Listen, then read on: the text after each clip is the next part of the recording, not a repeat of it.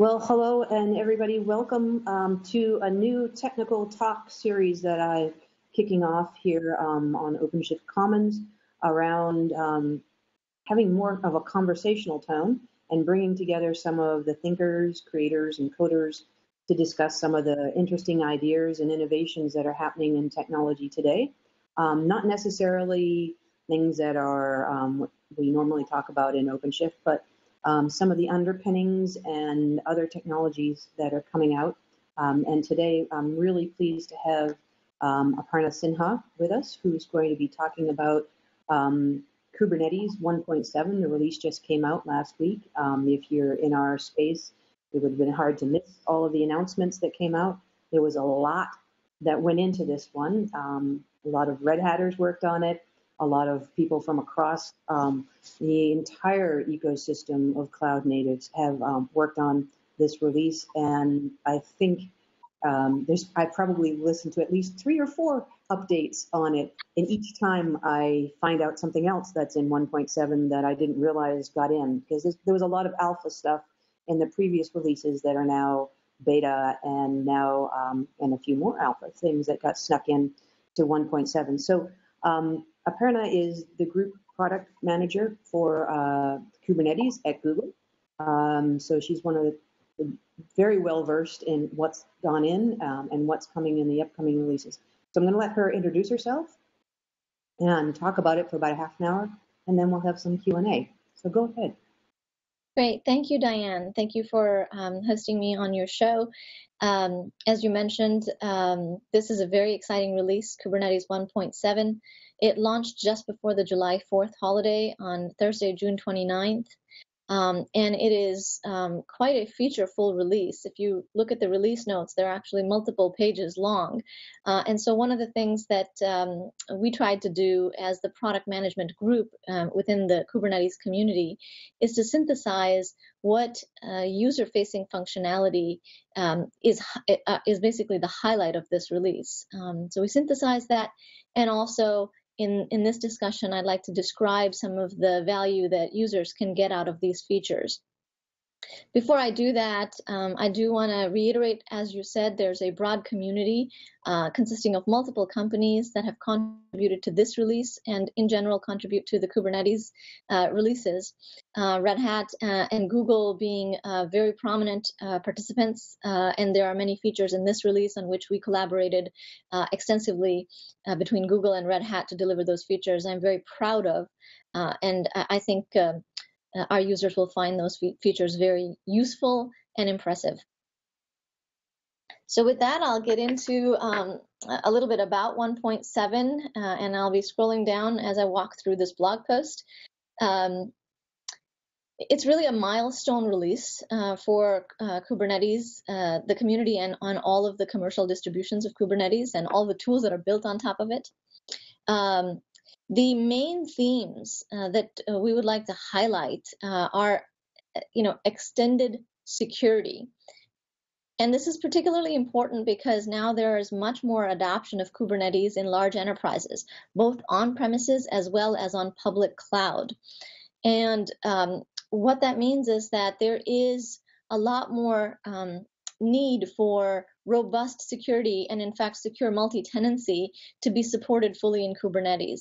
We're very happy that um, users are using Kubernetes in this fashion uh, and that we are um, able to uh, build towards a, a, strong roadmap for security and multi-tenancy in Kubernetes. And 1.7 has several new features in that regard. I also um, want to highlight the other two themes. Uh, the second theme is around multiple workloads. And we've been working on stateful workloads as a community for quite some time. Red Hat and Google, I think, have been foremost in um, stateful workload technology uh, and adding that to Kubernetes. And this release actually brings in support for upgrading stateful applications. Stateful applications being things like databases um, and batch processing. And then the last uh, big theme of the release is extensibility. Again, I think extensibility features are driven by the demand from large enterprises who are adopting Kubernetes in production. um, the extensibility needs that they have uh, are related to bringing in custom business logic that they've written that they want to be uh, included into Kubernetes. It's also driven by um, additional third party and internally developed APIs that um, uh, users would like to use in the same way that they that they manage other API features in Kubernetes.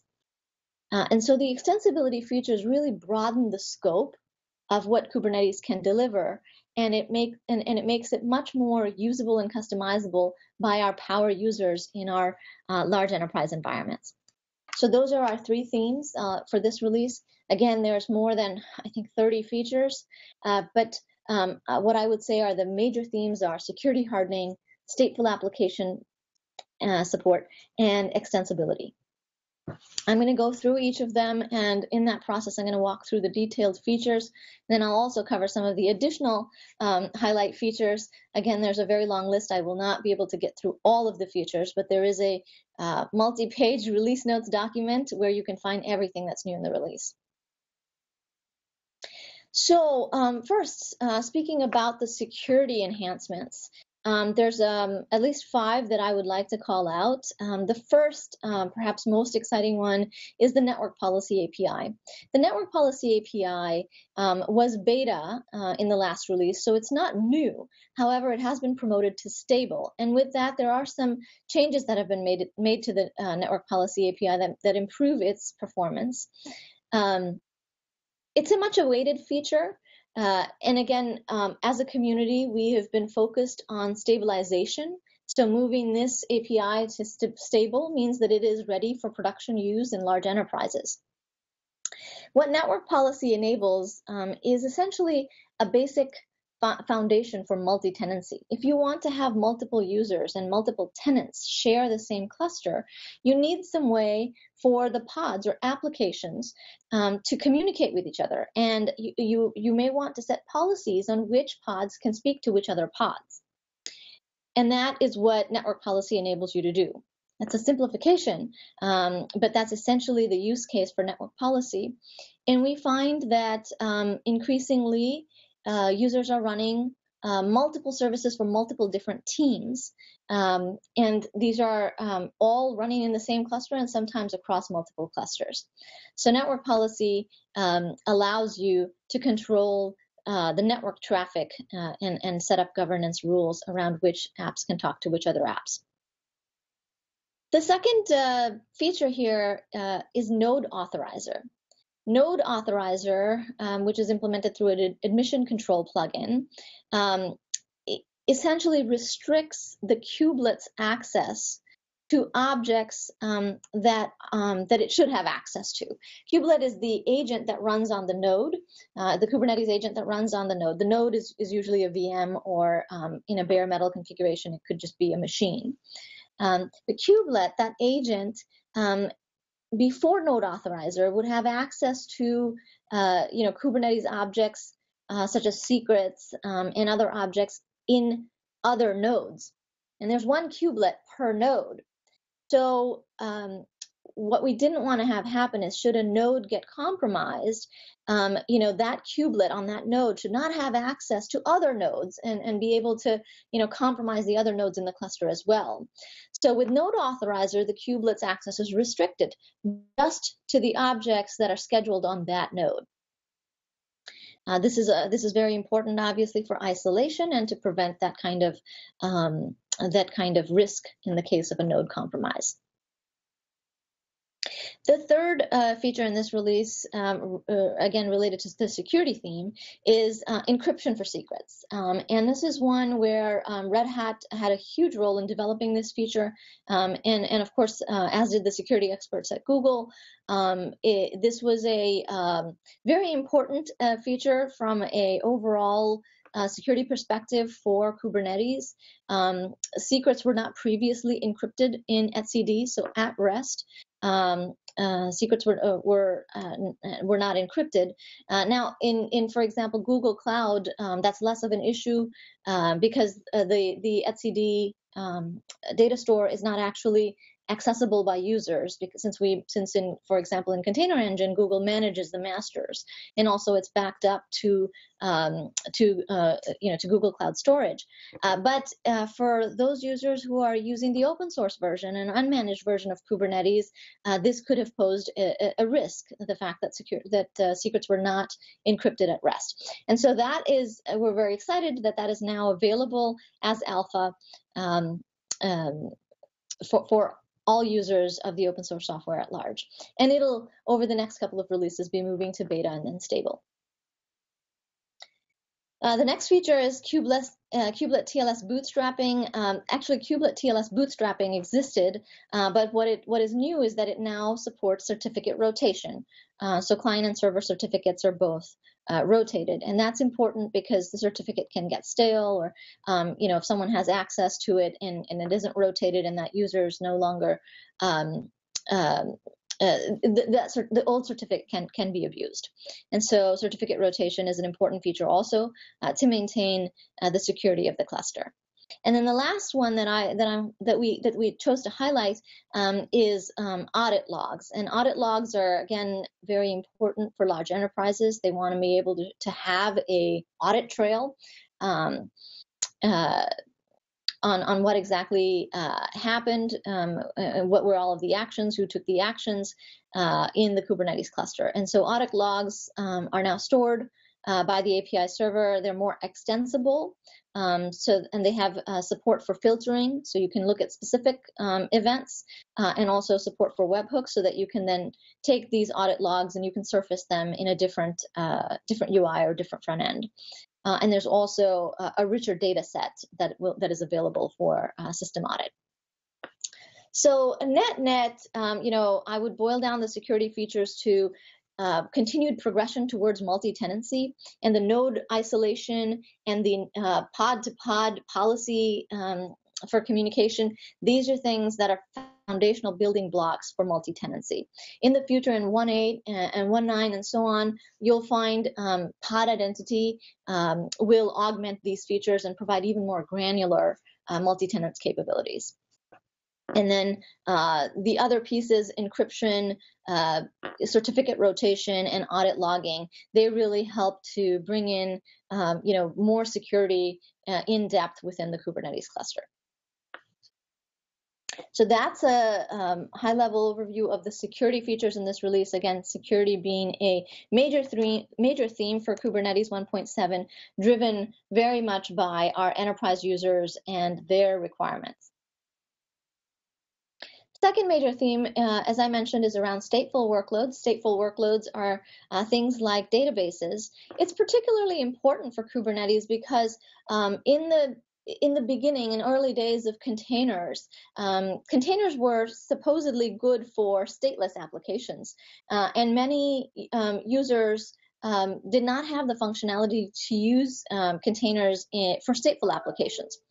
Uh, the problem that creates is that uh, you have your say web front end, um, eh, which is stateless, running in Kubernetes or you know running in containers, and then your database and or any other state, stateful part of your application has to run in a VM.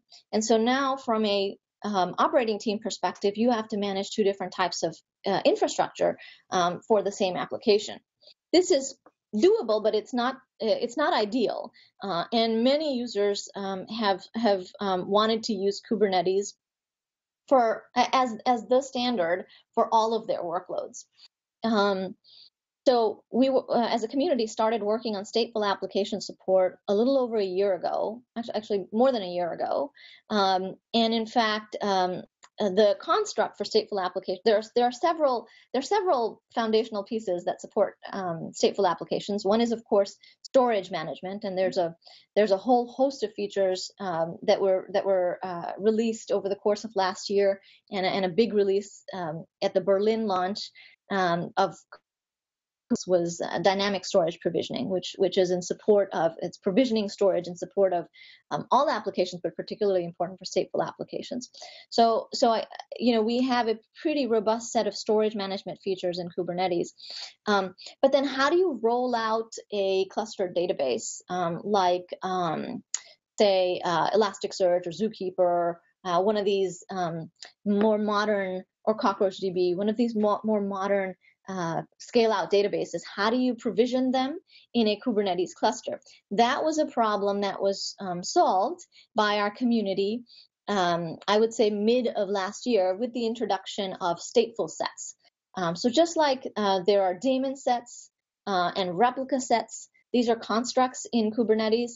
Um, there's also stateful sets. Stateful sets essentially allow you to provision a, a stateful workload, such as a scale out database on your Kubernetes cluster.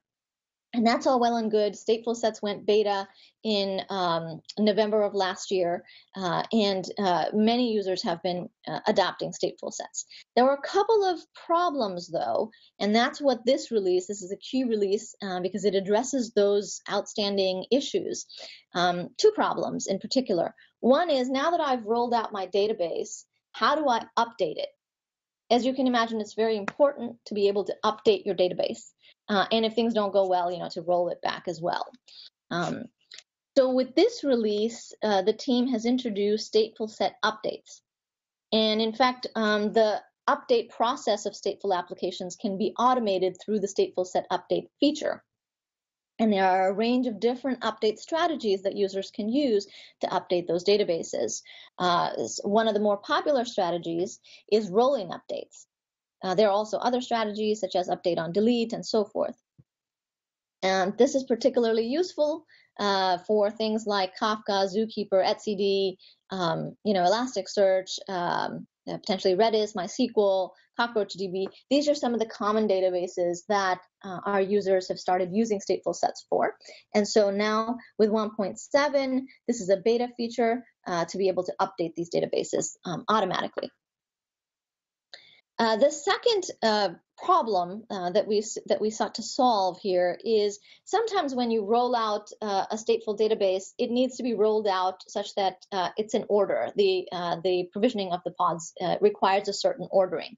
But for other databases, um, the ordering is not required, and you can actually provision them in parallel. Um, previously, we only had ordered execution. And uh, that led to some performance um, bottlenecks because for databases that didn't require the order, ordered execution, we still did ordered execution. And so we, we received feedback that, you know, this is, uh, for some of these databases, this is taking too long. And so in this release, um, we have pod management policies, which allows you to choose different types of rollout, uh, parallel or in order and um, that can be a major performance improvement. I think in particular for Zookeeper um, and for uh, Kafka, which is based on Zookeeper, uh, we have a demo that shows the performance uh, improvement here. So that's the big announcement with regard to stateful workloads. Um, the other uh, supporting pieces um, are alpha support for local storage. This was one of the most frequently requested features associated with uh, stateful applications. So users who were uh, deploying stateful applications on Kubernetes wanted to be able to use the local storage, and this is mostly for performance. If you have, if you require high performance from your database, you may not want to use clustered or networked storage um, uh, with that database. You may want to use the local storage that's available on that VM or on that machine.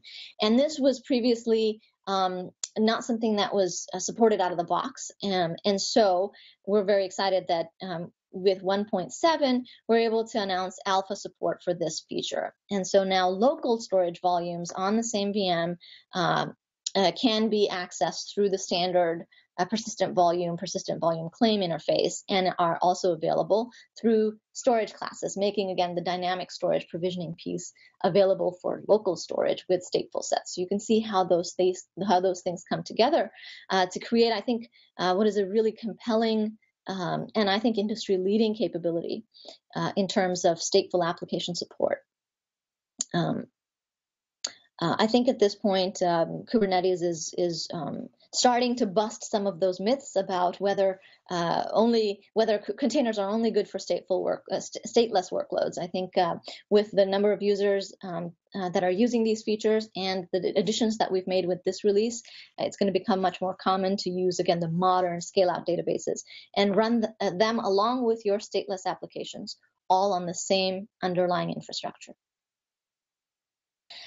So that's the major announcement there. A couple of other new things. Uh, daemon sets. Uh, daemon sets. Um, daemon sets are essentially when you want to have um, a pod uh, deployed in every node. So, for example, if you want to monitor every node and you want to install an agent in every node for that monitoring, you would use the concept of daemon sets. Daemon sets essentially create one pod per node. Um, another use case for it would be if you wanted to have a networking plugin, so a monitoring plugin or a networking plugin or anything that you wanted to install one of in each node. Uh, daemon sets have existed for a while, um, and daemon sets can also be updated, and the upgrade capability has also existed for a while. What is new in 1.7 is the ability to roll back and upgrade, and in fact, it's a smart rollback, um, and we also have more history um, of the the rollout and rollback. Um, so that capability is now added to daemon sets. Uh, the last piece, uh, piece is Storage OS Volume plugin, which provides um, highly available clustered cluster-wide persistent storage. Um, I'm not going to go deep into that, but that's also something that um, is a is a feature, a new feature here, and uh, it can be particularly useful uh, in on-premise environments. So that's the set of features um, that uh, are highlights in 1.7 for stateful application support. And again, uh, updates, major capability, uh, performance improvement, and local storage, those being the, the major things. Uh, the last but not least uh, theme of the release is extensibility. And again, one on which um, Red Hat uh, and Google collaborated extensively. Uh, it's very important uh, because we have a lot of large enterprise users. And again, as I mentioned at the beginning, those users are interested in extending the capabilities of Kubernetes, either with custom business logic that is specific to their enterprise or um, by adding third party uh, or user created APIs to their clusters. So the first of those features is um, API aggregation. Uh, API aggregation uh, is, I would say, yes, the most powerful extensibility feature in this release, and it is beta in this release. Um, it basically allows users to add a Kubernetes style API um, to their cluster. So the Kubernetes API comes built in with lots of different capabilities. You know, you can do, you can uh, roll out new deployments. Um, you know, you can uh, set up replicas and so on. There are many, many capabilities. But if you, for example, wanted to write a new object, something that combines existing uh, pieces of Kubernetes and calls it a new object, and that's that's or or it's a brand new object, and you want um, to specify that object for your enterprise, uh, and you want it to be available in the same way and manageable in the same way that the rest of the objects in the Kubernetes API. Then you can use the API aggregation feature and add your custom API to um, the to your Kubernetes clusters. And this can be done without uh, recompiling um, and, and, and rebooting your cluster. And that's the kind of the major thing. You don't really want to have to um, restart everything. Um, uh, so API aggregation works at runtime. Um, there are some good examples of this. Um, we we've seen users that have built uh, on top of Kubernetes, and for the purpose of those PaaSes, they have created many um, uh, you know new sort of objects, and, and, and, so those can be added through API aggregation. Um, another use case is that uh, for adding service catalog. Service catalog is a relatively new concept uh, in the Kubernetes open source community, uh, and it has a uh, it has an API uh, that allows you to essentially list um, a set of services uh, that you want to make available to your team or to your company in a catalog and uh, for, for service discovery and, and ease of service deployment. Uh, so, so the service catalog can be added as an uh, as a third-party API uh, through this API aggregation mechanism. Those are just two examples. There are many many more things that can be done uh, using API aggregation. So very excited about that feature. Um, there's actually another feature um, uh, it's listed here under additional features. It's also an extensibility feature, uh, which is support for external admission controllers. Uh, and this is this is currently alpha support, something that uh, was worked on extensively, again, as I said, by Red Hat and Google. Um, and I believe Clayton Coleman has talked about both API aggregation and and uh, external admission controllers. Uh, and those are definitely talks that are worth watching. Uh, so external admission controllers, they basically allow users to add custom business logic uh, to the API server. um, for modifying objects as they are created and or for validating policy. So what's an example of this? Um, there's a um, there's a lot of recent interest in a network proxy called Istio. Um, and Istio is essentially a sidecar proxy. It's a uh, it's a new container that gets deployed um, in every pod. And what it does is it functions as a network proxy. It can allow uh, it can monitor network traffic, um, but it can also do other things that a proxy does, such as authenticating. And so it enables service to service authentication, which is something that users have wanted for quite some time uh, in Kubernetes. But also it does things like load balancing. Anyway, so in a Kubernetes cluster, if you want to have uh, Istio running, you have to inject this sidecar proxy into every pod. Um, and one of the things, um, the, the, main mechanism um, that enables uh, doing this in an easier way, in an easy way, is the use of external admission control plugins. So um, what that does is you can think of um, Istio as essentially uh, business logic um, that um, you want uh, to add to your server. So it modifies the existing pods in your cluster. Uh, and so you can use external admission controllers to that mechanism uh, to add that uh, Istio sidecar to your cluster uh, without disruption. Other things you could do is you could validate whether, you know, um, a, certain policy around what your pods um, are or what your pods do uh, can be uh, validated uh, through this type of mechanism as well. So those are two uh, main extensibility features uh, that I think our users will find very um, valuable um, as they uh, deploy and, and, expand their use of Kubernetes for enterprise use cases. Um, the other extensibility features that that that we do want to highlight are with regard to the container runtime interface. And this is work that's been ongoing over the course of several releases. Uh, in this particular release, uh, the CRI has been enhanced um, with new RPC calls uh, to, to, to, retrieve metrics. Uh, there's a new set of validation tests that have been written for this interface. The validation tests are important because then other runtimes uh, can uh, validate themselves um, you know, kind of more in a self-sufficient manner uh, to, to provide support for CRI. So again, just backing up a little bit, the container runtime interface was developed uh, in the interest of code health and in the interest of extensibility to allow um, not just the Docker runtime, but also things like the Rocket runtime or the CRI-O runtime or uh, hypervisor-based runtimes or the variety of runtimes that our users might be interested in using. Um, Docker since then, um, since the early days, has now um, uh, split out the core runtime and donated it to the CNCF, and that uh, runtime is now called Containerd, and it's in active development. Uh, there is alpha integration with Containerd um, uh, for, within Kubernetes 1.7 using the container runtime interface. And there's also a in-depth post on the CRI that you can follow here. Uh, so that's the summary of our extensibility uh, theme for this release. Um, uh, and so uh, again, uh, the, those are the three major themes going back, um, uh, you know, the, the security, enterprise security features, uh, stateful workload support, and extensibility. Those are the high level uh, three themes that I would um, suggest that users keep in mind as they try out 1.7. Uh, as I mentioned, there's a longer list. Um, some of the others that we highlighted in this blog post, I think one that's important is third-party resource, because third-party resource, which is also an extensibility mechanism, has been deprecated with this release.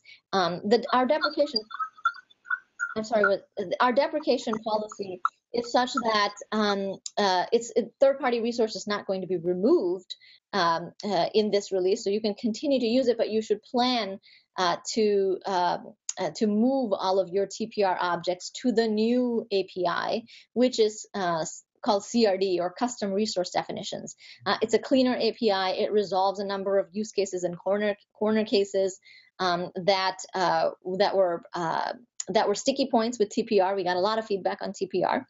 Uh, and so if you are using the TPR beta feature, uh, there is a migration guide that is linked here uh, to migrate to CRD, and hopefully you will all see great improvements uh, with that migration. And then ultimately in the next release, which is Kubernetes 1.8, TPR will no longer be supported, and so it will be removed. So once you migrate to 1.8, it's important to uh, make sure that all TPR uh, usage is is uh, prior prior to 1.8 upgrade move to CRDs. Uh, that's in a nutshell the set of features um, uh, that we that we highlighted. Again, uh, complete list is in the release notes. Um, I would like to say a little bit more about um, you know the growth of the community. The community, uh, the open source community, continues to grow. Uh, is very healthy. There are a number of different companies and many, many independent contributors uh, that made this release possible and are continuing to work together to make the future releases possible. We are already in uh, deep planning stages for 1.8. Um, the um, on the customer front, um, actually, so together, uh, I guess we've pushed more than 50,000 commits uh, since the beginning of the uh, of the project, and that's just limited to the to the main Kubernetes repo. Um, it is worth pointing out that uh, in the interest of code health and in the interest of stability, uh, the Kubernetes, the main Kubernetes repo is being restricted, uh, more and more restricted to just the core components of um, what most all users uh, use uh, within Kubernetes. And many of the sort of um, uh, umbrella and extens, ex, um, uh, extensions to Kubernetes are now being moved off uh, into extend uh, into associated repos. And this move um, and cleanup of the of the repositories is bringing overall stability to the project as well as making it much much faster for contributors to contribute and develop.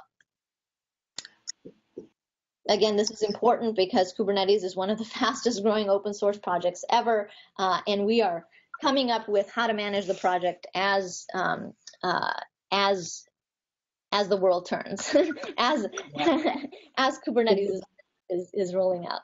Uh, it's been a very interesting community development process, um, and um, you know we've we've seen lots of other projects like OpenStack and you know even Linux and stuff. It, it's an evolving model of, of how to get involved in the project and how to manage it. And um, so far, the Kubernetes um, community has, has done a, a, pretty awesome job, especially one of the things that I like to point out is the, the special interest groups and how those drive um, the features and the functions and the process of what gets incorporated into next releases and managing them. It's been um, the coordination of that has been pretty awesome um, to date, and hopefully we'll, we'll continue to, to, do that. And the other thing that's really been, you know, as I said in the beginning, there's always every time I listen to another 1.7 release, I hear something else that I didn't note before. And in this one, what was interesting to me was the audit logs, which I hadn't really um, thought about a lot um, in the past. And now that we're moving into sort of an enterprise um, a mass adoption of Kubernetes out there in the world, this becomes more and more important than ever, um, and, and, will be something that I, I, think we could explore a little bit more too. And I'm pleased to see that. One of one of the questions that um, that I have um, for you maybe if you could explain a little bit when you say something is an alpha um, release bit or a beta release bit, or it's something that's stable and incorporated into the into production. If you could explain a little bit of that because I think there's probably a few people who are very new to um, OpenShift. Yes. No, not OpenShift, Kubernetes. That was my bad. Right, right. Um, so alpha features are uh, subject to complete changes. Um, alpha is essentially um, an early uh, experimental version. So when the community first comes up with a solution for a problem, say, um, uh, let's see, what's alpha in this release? Um, extension uh, external admission controllers so we recognized that you know it's important uh, to have external admission controllers this would be a really key addition um, you know, and really uh, make it possible for our enterprise users to use Kubernetes with so many other, um, you know, so many other um, uh, uh, custom um, to, to bring in so much other custom lo uh, business logic and or so many other tools that they've been dying to use. So when we when we do that, then we um, you know there's a design proposal in the community and uh, you know, everyone will sort of coalesce around a particular solution, and then, you know, a solution will be developed and it'll be launched as alpha.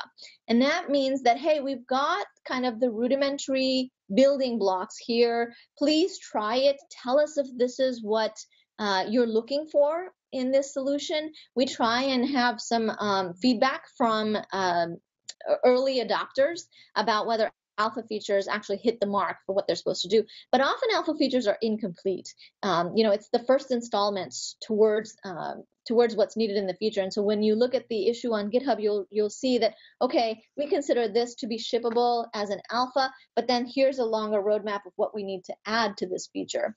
And in many cases, in making those additions, we change how the alpha functionality is working. So there's no guarantee with an alpha feature that the way the feature works is going to continue to be how the feature works. And that's extremely important for our users to understand you know, many Kubernetes users are at the bleeding edge, um, and uh, Kubernetes being such a um, rapidly uh, developing project, um, people are waiting for these new features. Uh, and sometimes, uh, and it's great that, that that users adopt alpha features, um, and that they give feedback to the community. But it is also important not to use alpha features in production, and certainly to keep in mind that there is no guarantee, and most often alpha features do change completely.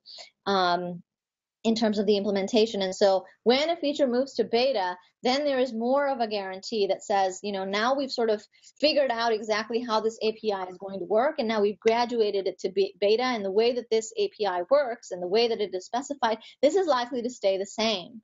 Um, but it may still be incomplete. There may, for example, when you look at stateful sets, stateful sets are beta, but there are but there were core pieces of functionality that are missing, such as the support for updates. So they were beta in November of last year, but we didn't have support for upgrade up, upgrades. And you can't really take stateful sets to GA until you have support for upgrades.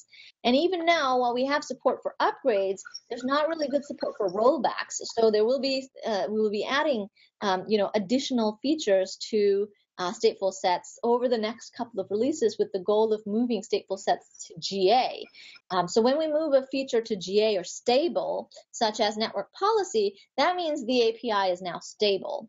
And uh, we think that as a community, all of the basic functionality that is needed to run this uh, to, to run this feature and this set of features in production is complete.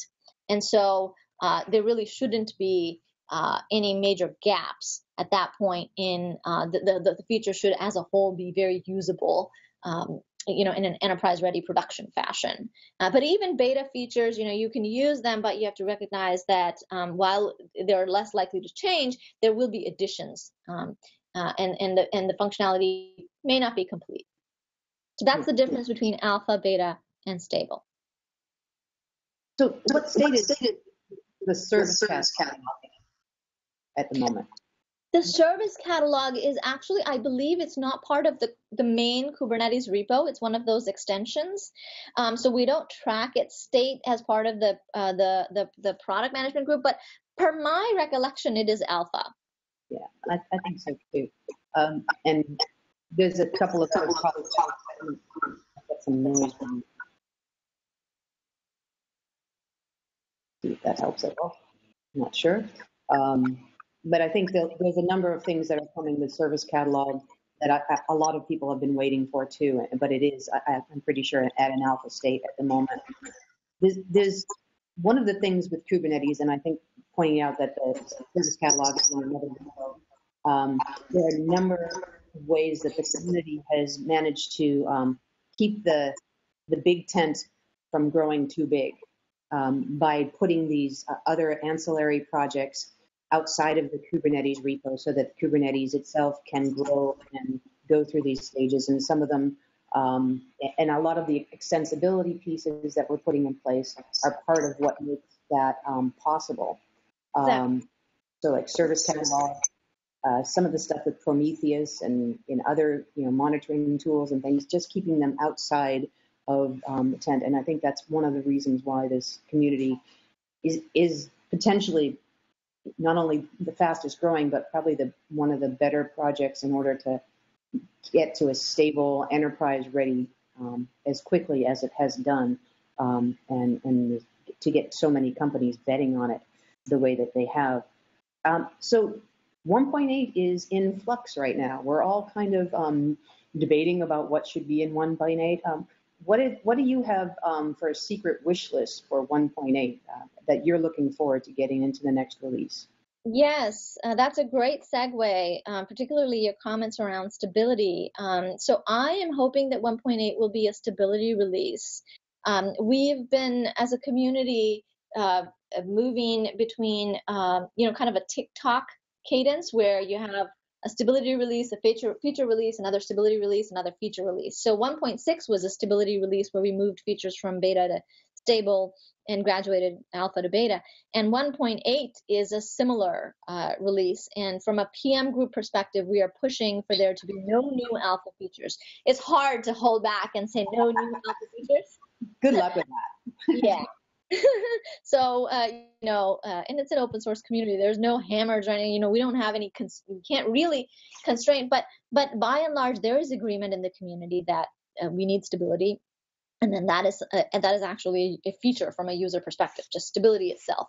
So i'm hoping that 1.8 will be largely a stability release. Um, some of the things that we want to move to beta for example local storage uh, in support for stateful workloads was alpha in 1.7 and that's such a high demand feature. We hope that we can move that to beta.